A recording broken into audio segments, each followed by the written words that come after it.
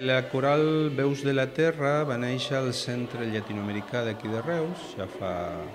eh, 17 anys,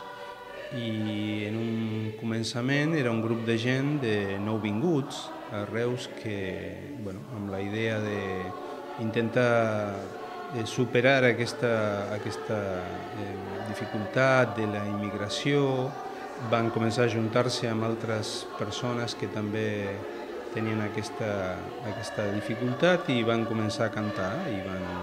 uh, van trobar dins del centre llatinoamericà un espai per poder organitzar una coral. Després, a poc a poc, aquesta característica es va anar bueno, desapareixent i va convertir-se en una coral essencialment catalana, la majoria dels integrants. És un grup de gent que li agrada cantar i treballa setmanalment per eh, intentar donar un missatge eh, musical però amb fort contingut de reivindicació, de valors universals. Lamentablement, ho he de dir, mm, degut a la situació que vivim a tot nivell, eh, no ens falten motius per, eh, per cantar eh, sobre problemàtiques que pertoquen a tots,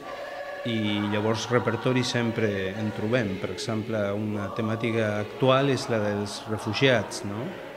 que ara incorporarem algunes cançons al repertori de la coral. Fa uns quants anys que està organitzant anualment eh, la trobada coral de primavera, que és una, una trobada que vam començar a organitzar l'any 2006. Intentem que siguin corals de molt bona qualitat i en, especialment en aquesta edició, que és, la farem el dia 25 de maig al Palau Farul, vindrà una coral molt important de, de Catalunya, perquè és l'Orfeo Gracient de Barcelona,